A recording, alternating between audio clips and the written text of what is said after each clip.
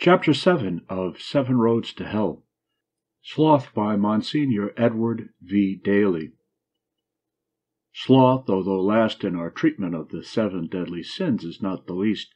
It is probably more deadly than the others because it provides easy ground for the indifferent to lie back and doze away while the devil maneuvers about, seeking a juicy soul to devour. God's threat in the Apocalypse against the people of Laodicea mentions lukewarmness as a particular object of his rejection. The Laodiceans were neither hot nor cold. Apparently, the apostles had a hard time denting the surface of their indifference.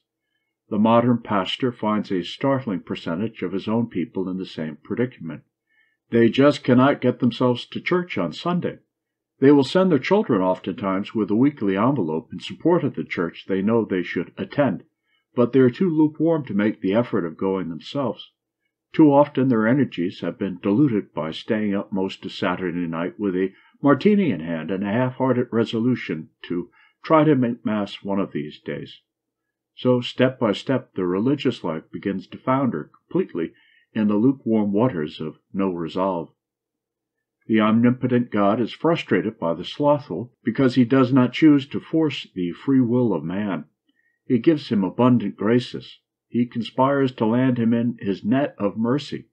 But he will not force love, because the end result would be something else than love.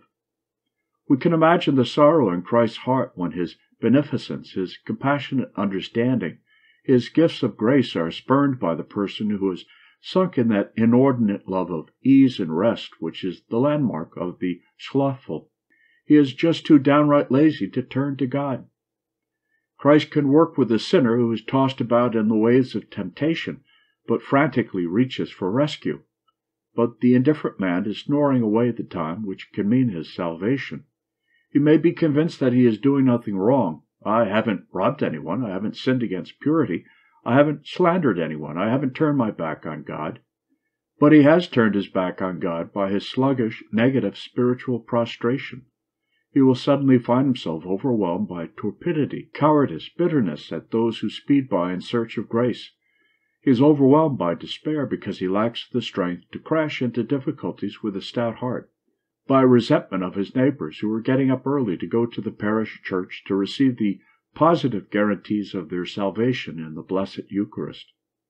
The last neglect is perhaps the gravest omission of all, the slothful one is not getting the life blood of his soul because he is just too downright lazy to drag himself out of bed for the Eucharistic banquet which is set for him on every altar in the world. He would not think of skipping ham and eggs, steaks, double martinis, his daily vitamin pill which promises him bodily balance, but the food of the Eucharist leaves him cold because he doesn't get spiritual hunger pains except in adversity. He doesn't see his soul withering away for lack of nutriment, or his spirit rattling about like a skeleton in his closet of neglect. Unfortunately, the ever present body, with its tendency to pamper itself with every possible comfort, has dimmed the concept of why we were all created. We were born, of course, to know, love, and serve God in this life and be happy with Him in the next. The first step in knowing God is to recognize the principle that anything that distracts the creature, man, from his final destiny is to be rejected. Wealth, power, beauty, health are desirable only if they serve as stepping stones toward eternity.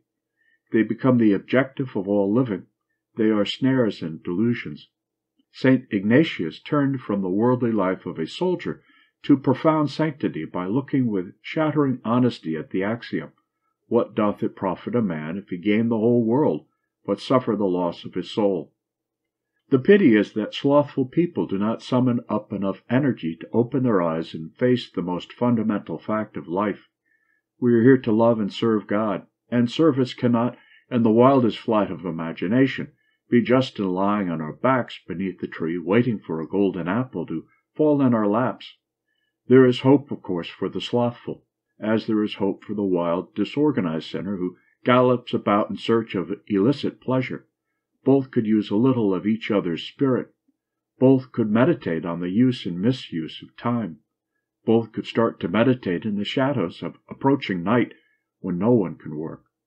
These slothful could get up by God's grace and strike off in the direction of God. The sinner could slow down to a walk and allow himself to bask in the sunshine of a clean decision. One thing is certain, we'll always be pulling ourselves out of the quicksand of capital sins. Whether we sink or not depends upon our willingness to reach for the hand of Christ and let Him lead the way.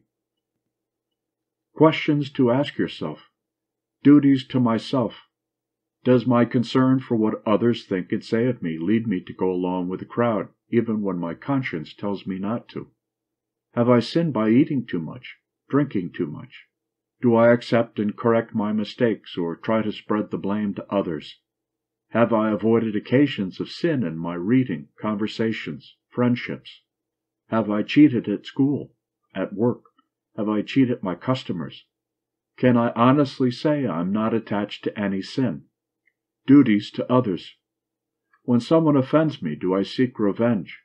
Give way to hatred? Have I injured another's reputation by telling the truth about him without good reason? By lying about him? By innuendo? Do I mock others, belittle their efforts to do good? Am I given to sulking when others do not follow my plans or suggestions? Have I led my husband, wife, children, or anyone else into sin? or into the occasion of sin? Have I been harsh with my children, too permissive rather than willing to spend the time and energy necessary to teach them virtue and keep them from sin? Have I been respectful, obedient to my parents, teachers, and others in authority? Have I often been disagreeable or discourteous at home, work, or school? Duties to God. Do I remember to thank God for success when it comes and to accept failures without bitterness? Have I been guilty of lying for any reason? Have I been late for Mass, missed it completely without reason? Do I often neglect my prayers through laziness or because I have something else I have to do? Do I waste much time doing nothing? When I have felt the urge to perform some good act, have I neglected this grace?